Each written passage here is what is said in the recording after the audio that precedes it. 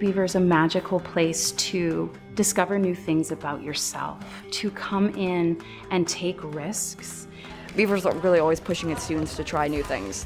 It's one of the most welcoming communities I've ever been a part of. It's an inclusive environment and I just feel at home here. I love the energy of this school. I love the way that the faculty is so dedicated to what school should be. I love reading. I love humanities. This year I joined the debate club and I loved it.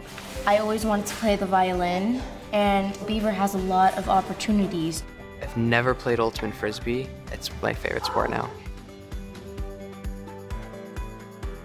We care about deeper learning experiences. We care about building healthy community culture. It is really important for us to also think about what does that student need to be pushed to the next level, to make sure that they're being challenged and that they're really developing as thinkers and learners.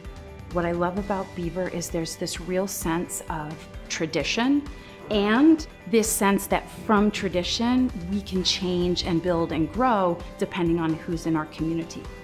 Our goal is that every student from day one that they walk in, that they feel like they're part of the Beaver community. I made a lot of friends here. Everybody is genuinely so nice. I really like Beaver because it's an open community and when you come here, everybody welcomes you. Good job. A middle school student is going to feel like they're part of the community really quickly. We work really hard to not only create a community, but teach our students how to be part of a community. You can be many different things here.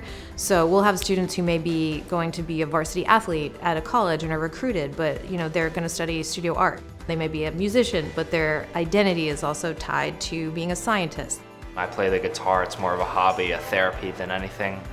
But through the student-directed project, I created an original composition. It was amazing.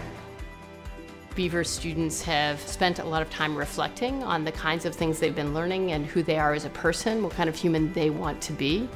What did you do this summer? This summer, I volunteered um, through the Hyatt Center at Newton Wellesley. At the Hyatt Center, we help them make connections with community agencies and organizations that may follow the causes that they're most interested in to create social change. I spent a lot of time working at a company that does nonprofit events and I felt like I was using a lot of skills that I had gained from being a leader of the middle school social justice retreat. A Beaver education is going to be transformative for you. In the past, I haven't had the best experiences with science. It's just never been something I'm that interested in. But the way Mr. Zachary teaches it, he's making it fun. So meeting students where they are is really at the core of what we're trying to do. And that is never the same thing because the kids are never the same.